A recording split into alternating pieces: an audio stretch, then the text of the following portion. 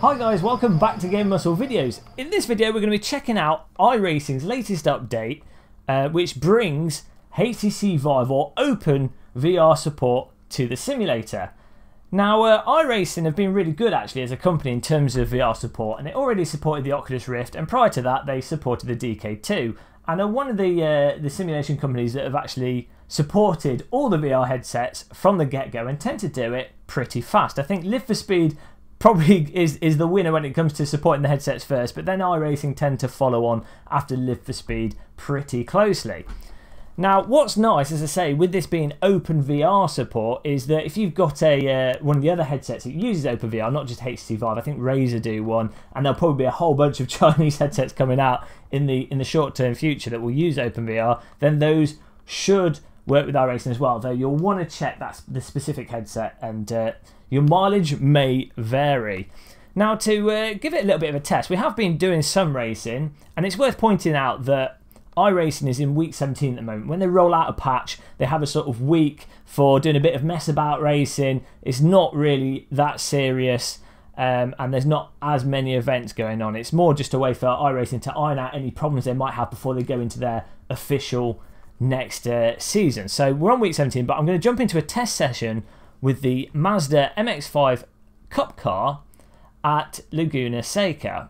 Uh, and to launch with the with the uh, Open VR with the HTC Vive, all you need to do is click, uh, well, have your headset plugged in, make sure everything's turned on, make sure Steam VR is running, and then just click uh, click on either launch race or in this case we're just going to test the car on track. So you click on that, and it should pop up on the screen any minute. There we go, it's loading up.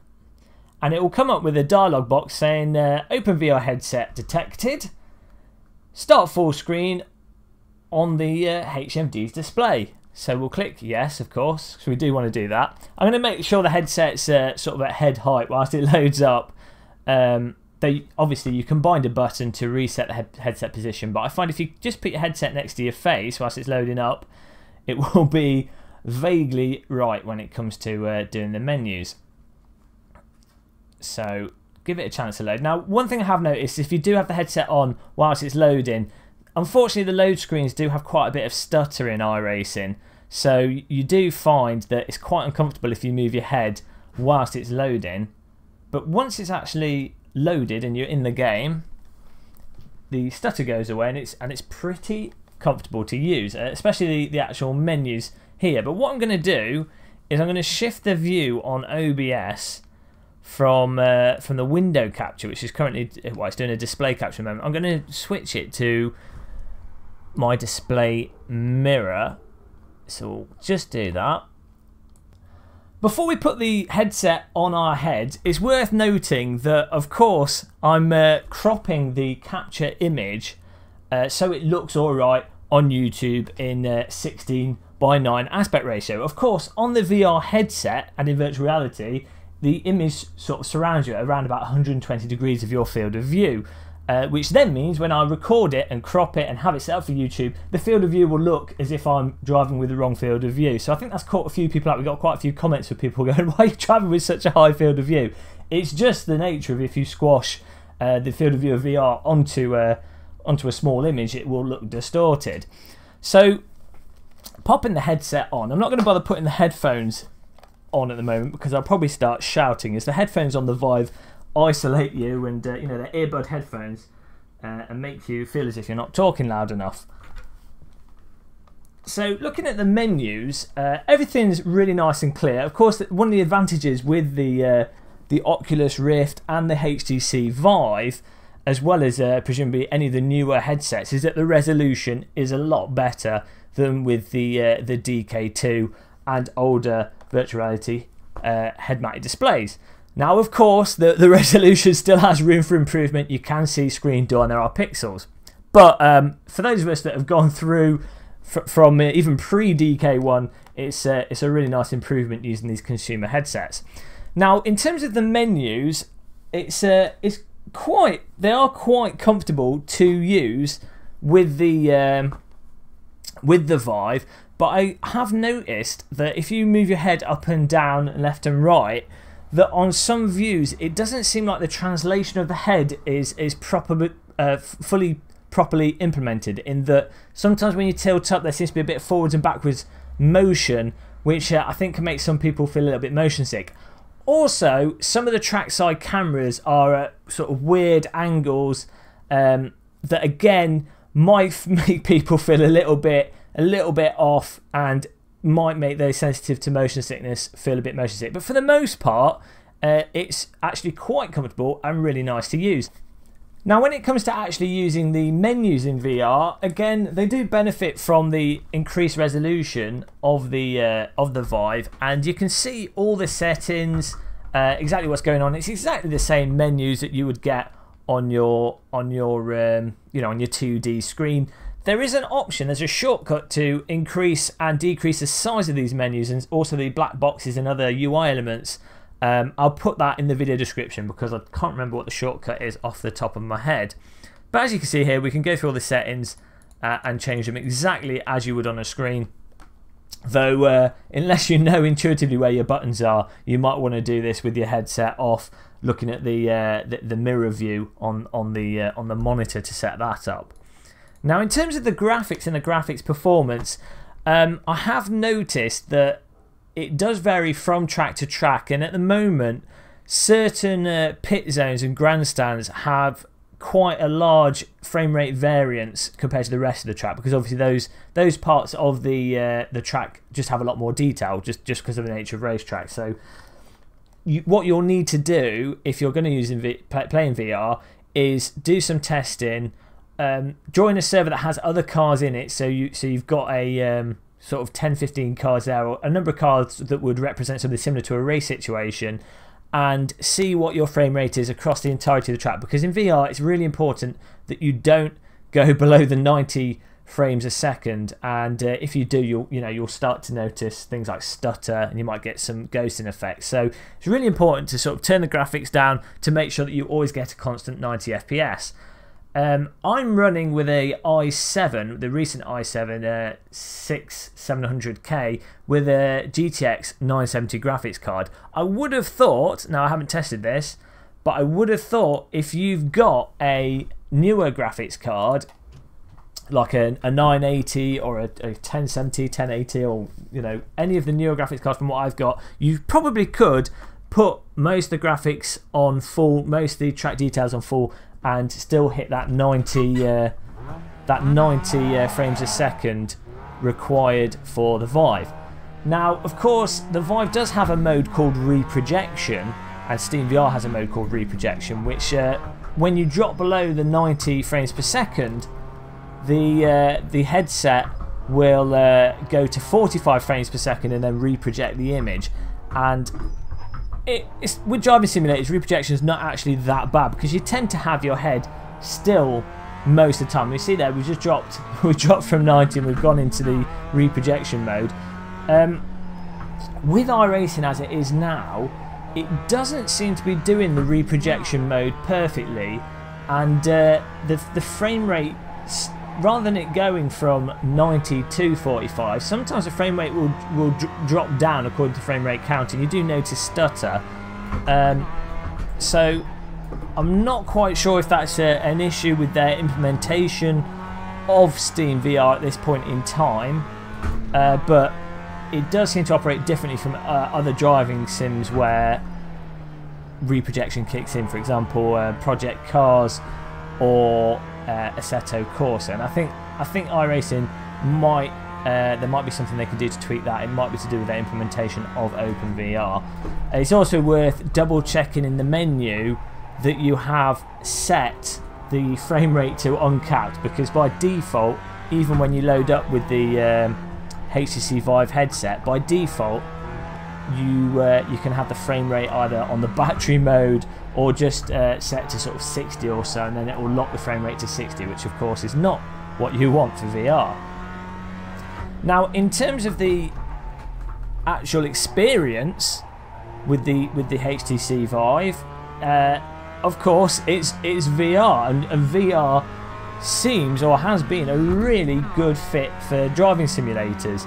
I mean you really do feel like you're sat inside the vehicle and actually at the location. And uh, with iRacing having its pretty high detailed laser scan tracks, with uh, and one of the things that iRacing do really well is that they actually put a lot of effort into the trackside details in terms of very faithfully recreating the objects and the hills and the, the landscape outside the track which in VR I think you notice and, and pick up in VR and that does give iRacing tracks a very natural feel to them and you can appreciate it in VR because you tend to more so than when I've played on screens you tend to you tend to look around left and right. I've just put my headphone in my ear so I can hear what the car's doing so I was just driving deaf there. Hopefully we'll start changing gear at the right time now, uh, other aspects of iRacing's VR implementation, you might notice that I've not got hands on the steering wheel. There seems to be a bug at the moment where sometimes the, the hands don't move with the steering wheel, which in VR is, is very immersion breaking. But also, even when the hands are moving with the steering wheel, their actual the rotation amount before the animation stops dead isn't particularly uh, it isn't that far. It's only sort of you know a quarter of a turn, and then often the animation will stop. So again, that's the kind of thing which which breaks immersion in iRacing. It's a shame that they haven't changed that. I think that was it's been like that since the uh, since the DK2 support in iRacing. So I always drive with the uh, with the hands off and just just have the steering wheel. Having said that, I, I, think you sort of you do get used to just having the steering wheel, and normally when you're actually in a race and focused on the racing, you're not really looking at the steering wheel. You're sort of looking at the uh, the rev counter, and you're looking ahead at what's going on. You know, looking into into the next corner and, and what's you know what's coming up, as you should be if you're you know if you're driving a real car. You're not supposed to be just glued on your cockpit. You're supposed to be looking ahead to the next corner and uh, focusing on the flow of the vehicle. Now one thing that iRacing does do really well though is they've got proper mirrors and again it was one of the first simulators to do proper 3D mirrors. Now the actual image on the mirror is 2D I think. I don't think it's got stereo on the mirror that I can see. But um, it has the head tracking assigned with it. So when I move my head the actual image on the mirror moves, if that makes sense. Which seems like a small thing, but it does actually add a lot to the immersion, but also adds a lot to the functionality of the simulator because you'll find when if you've got someone behind you, the way we're in the wrong for the hill, the way you um, you know when you look at them and you move and you're moving around in the mirrors. This is drunk driving with Gamer Muscle here. The way you look around in the mirrors having the actual proper mirrors operate like it would a real car means you can eliminate your blind spot just by moving forwards or by moving your head left and right and you can get a far better idea as to where the car behind you is especially if they're trying to be sneaky and do some moves on you. And uh, we sort of talked about this recently in uh, our Live for Speed video because Live for Speed is the only other driving simulator that has the proper mirror support at this point in time yeah, I, I don't think they are stereo. They're just, it is a 2D image, but it just does the head tracking. But to be honest, they feel very natural and they, they look like real world mirrors. You don't tend to notice in real life, you know, when you're driving a real world car, when you look at the mirror, you don't tend to notice it being a, a 3D, you know, a stereo image in a mirror anyway, just because the field of view and the, the distortion on the actual mirror surface. So, um, aside from that, it's pretty much, and a lot of these things, as I say, were already supported in iRacing when they had the uh, the DK2 version. So this is mostly just a case, and, and the, the Oculus Rift version, this is mostly just a case of them adding in OpenVR support. Um, aside from that, it's just a case that now, now those of you with a Vive or OpenVR headsets can now play iRacing. Now one thing I have found that's been quite useful is recently we, we added the uh, button box onto the rig uh, and then setting that up to you know control the black box settings and in iRacing it's got quite a uh, robust black box system which has all your different settings on it And they've also got a radio system where you can talk to other drivers on the grid and choose which channel you're on. And not so, again with the Vive because of its high resolution, that's a lot more clear. But with the button box, it's really nice that even in VR, you can have your view sort of obscured. I can't obviously see my hands, but you can reach out and still access those options. And with iRacing, because of the way they've designed the uh, the black box they call it, because of the way they've designed it, you can sort of access everything in a, in a relatively intuitive way, even if you can't see anything. Now I might try and do, uh, let's like speed things up a bit. I'm just dawdling at the moment as we go around here. One of the things I always say with VR is that just it really does increase the the sense of um, the sense of speed when driving, and it does make it a lot easier to be sort of subtle with the inputs. That you, you feel the effect of the brake through the visuals. You know, you, the, the visuals are more pronounced because of the wider field of view and the stereo. So you feel the effect of the brake a lot more than you might do on a on a single screen or a smaller triple screen setup. Those of you with a ginormous projector screen or ginormous triple screen that has a similar field, field of view to VR, you you know you're getting the same information. So uh, other than the lack of stereo, it might not be that much of a of a difference.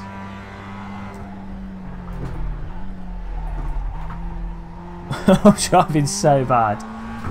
But one thing I've found, having done a couple of races now in in iRacing, um, is that I, the way that iRacing does its force feedback is it's more of a sort of literal.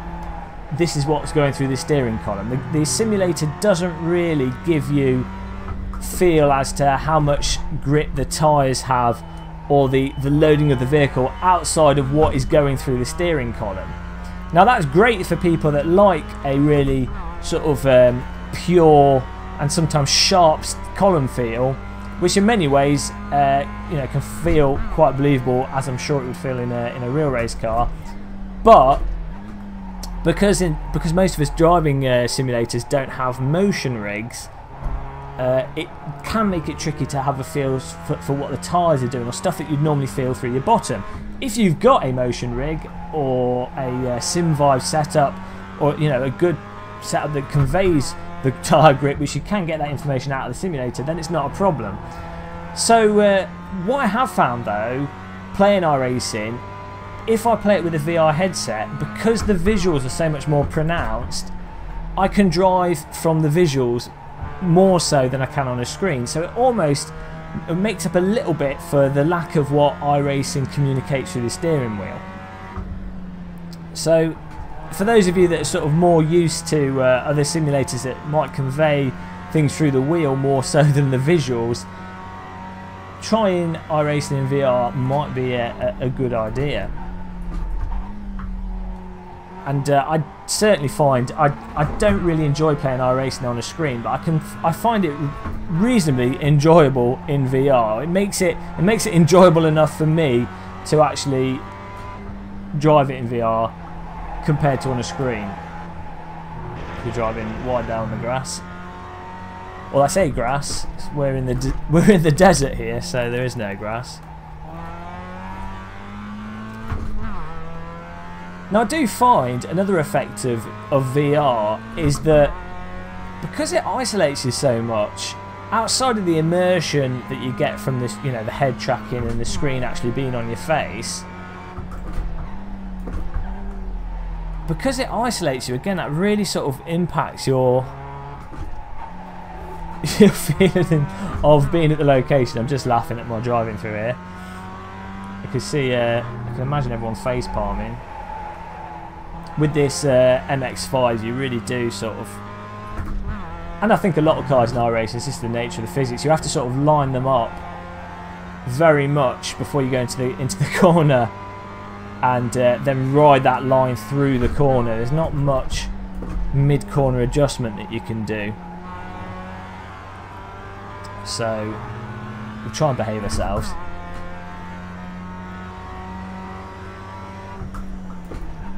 But if you live with other people, if you have a partner, you have to watch out that you don't uh, make them feel abandoned.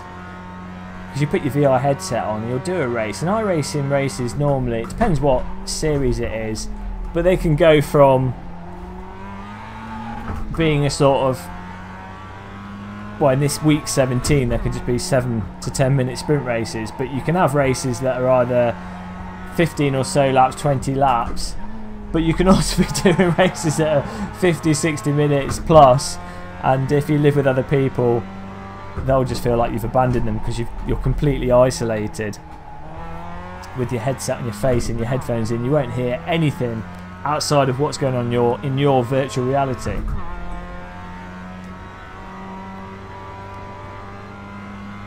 But I think that pretty much covers the uh, OpenVR implementation in iRacing at a basic level.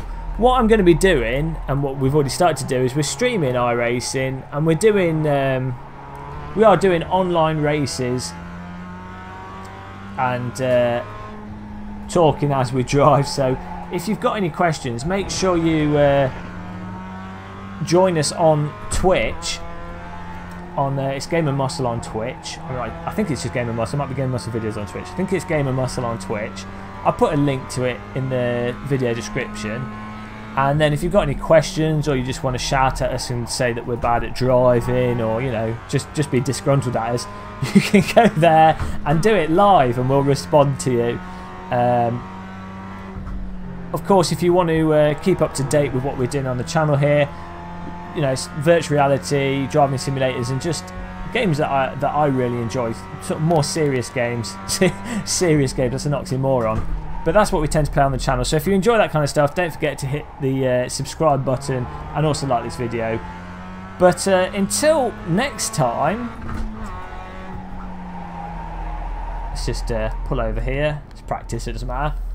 Until next time, thanks for watching this. I hope that gave you an overview. Goodbye. First built in 1969 and then upgraded with its trademark alien grip strips, 30 years later in 1999, the Paul Ricard track has become one of the most popular test venues, host to multiple Formula One Grand Prix, and more recently the European Le Mans Series.